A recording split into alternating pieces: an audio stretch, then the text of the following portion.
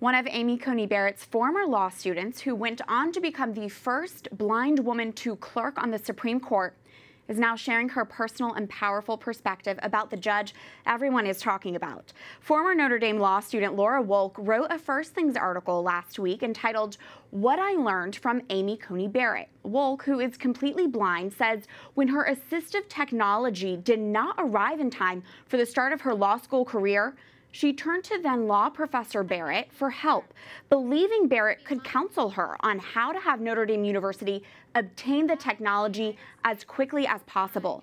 Wolk writes, but she did not merely help me to readjust the burden on my own shoulders, she took it from me and carried it herself. I will never forget the moment when she looked at me from across her desk and said coolly and matter of factly, Laura, this is not your problem anymore, it's mine.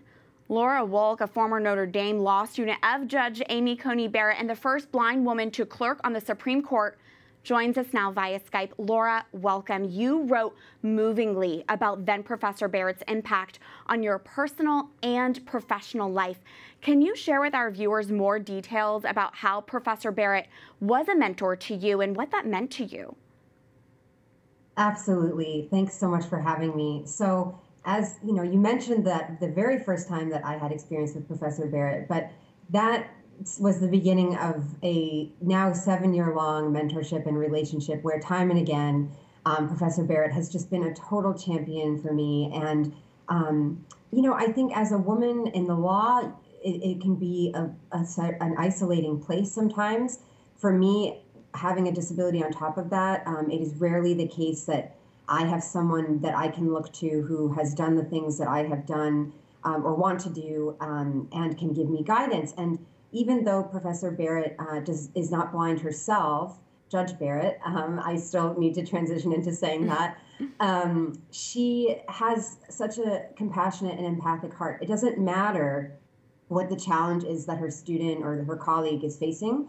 She is able to um, enter into those experiences with the person. So just as life happens, you know, when I've been moving and feeling overwhelmed or starting a new job, or when I went to the court and I um, struggled in the beginning with wondering whether I it was I belonged there. Um, Judge Barrett has just always been someone that I know will tell me the truth and someone who I can go to for both advice, but also um, like the pep talks when you need the pep talks. Mm. And uh, it's it's that it's that combination of both the practical and the empathic that makes her such an amazing friend and mentor. Mm.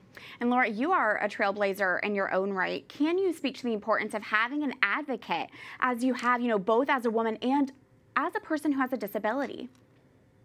Yes, I there. It's so important. I mean, this is advice I give to young uh, women and and blind people all of the time. I mean, like we the church talks about this like human beings we are meant to be interdependent. We are not supposed to carry everything uh, on our own and we're not meant to do we're not meant to live this journey on our own. And so having an advocate not only is it's beneficial for both parties. It's it's helpful to me as the mentee because i'm receiving very practical assistance but it's also beneficial for the person who is doing the advocating um, because it's through those types of relationships that I think we really come to understand the importance of of uh, really seeing the person as a human in their full humanity and everything they have to offer.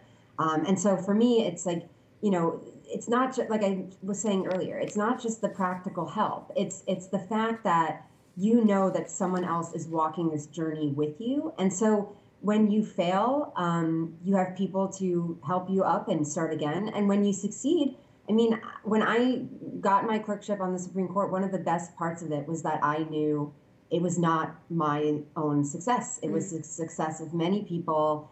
And um, when I called them to share the news, and and and Professor Barrett among them, their um, their happiness was was very genuine because they had played a role, and it was partially their success mm. as well.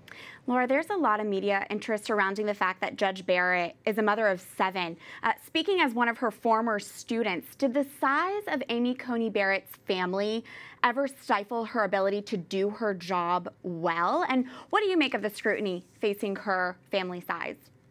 Yeah, I I think the the harping on the size of her family is it's not just uh, irrelevant; it's actually really offensive. Um, it sends a message that uh, women should live a particular way, and it is only proper for them to do um, to fulfill certain roles. And I just think that it sends an absolutely terrible message to women um, everywhere to say that if if you want to be a certain type of successful person um, you cannot have a large family. And you know, no, I don't. It absolutely did not stifle, and it, it, it only made us appreciate her more because um, Notre Dame is very wonderful in this way. The law school.